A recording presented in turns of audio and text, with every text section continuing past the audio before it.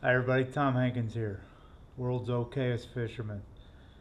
Well, hey, I want to talk a little bit about what I do on days like today. It's pouring down rain. Uh, of course, we're all isolated from one another, so can't really go anywhere. So I'm taking a little time uh, to organize my my plastics.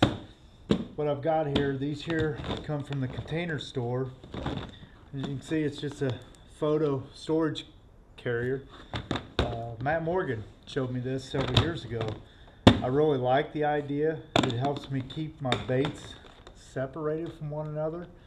Uh, and I can leave them in inside that original package. I don't know if you guys have noticed when you take these any plastics out of the original plastic containers that they come in, plastic bags, uh, they kind of start losing color. So I prefer to keep them in their packaging. Uh, really helps the life of them. Uh, and then, uh, you know, I take, right here, I took some of these out, some of these smaller containers, I took a few out so I can make room for these bigger bags. You know, Crappie Magnets got some 50 pack bags out there, really like that. Uh, if you folks aren't using Crappie Magnet baits, uh, you don't know what you're missing out on. Uh, it's, it's not the not the best looking bait there is, you know, when it comes from a fisherman's perspective. But I'm telling you, them baits right there really catch a ton of crappie. Uh, I've got them in all different colors. Uh, very, very inexpensive plastic baits. So, you know, look them up. Go out there and get you some. As you can see, I've marked my, with my fancy handwriting here, each one of my boxes. You know, I've got crappie magnets in here. I've got miscellaneous in here, tubes, my big baits from Muddy Water Baits, uh, my Lake Fork box. Uh, I, I've got it all labeled.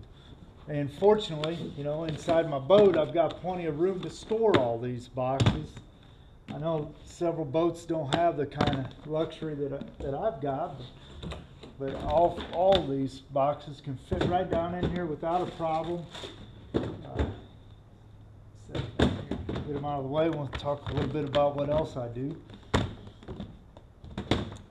You know, with me labeling each one of them, I've got them up there so I know exactly what to go for. Uh, one thing that I always have in my boat is I've got a box that's got a miscellaneous of everything in it, okay? Different colors. I've got tubes blended in with some Bobby Garland baits. Of course, my crappie magnets.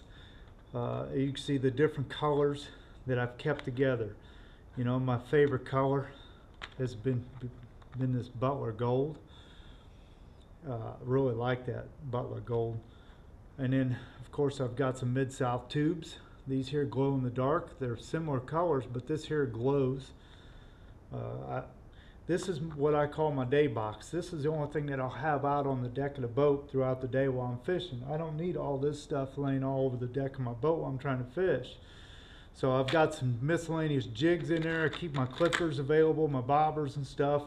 I even have some trout magnets in here just in case we need to downsize, which happens sometimes. Don't ever be afraid to downsize and go to these small, small baits. It's the same thing, it's just a smaller version. I've caught some big fish on them things. Put that away. Goes in there. And of course, my big Ken's jigs. I've got a couple different packs of them here. Uh, I try to keep them separated. This is a watertight box. You definitely want to keep a watertight box. I've got my fin spins in here. I tell you, man, these the the Pro Series, these things are amazing. Catch a ton of fish. You don't. You can add a plastic body to them if you want to put a trailer on them. They've got a nice big hook to them. Look at that. Boy, you can throw a shiner on there. Wonderful baits. Wonderful baits. The Big Ken's jigs. Really like them. Love the detail that he puts on them. You know, I love the big fish eye. Uh, I don't know if anyone's ever looked at a fish, you know, real close, but they've got big eyes for the size of their body. So keep most of these in a watertight box. Big Ken sent me this box right here. I think it's great. It keeps them from banging into each other, knocking the paint off, you know, while you're going down the highway or cutting across rough water. uh, keeps them nice and solid. So that's my tip for the day. I hope that helps somebody out. Get out there, get on the water, be safe, catch a lot of fish. Have a good day.